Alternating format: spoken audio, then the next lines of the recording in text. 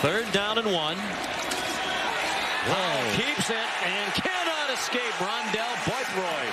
What a play by Bothroyd. He tackled both guys. I here he is right here. He's just going to get right into the backfield and make the play. Follows the tackle down and grabs both guys, pulls them to the ground. Had a little help from Miles Fox. Crowd thought he face masked Sam Howell, but it looked like he grabbed a jersey.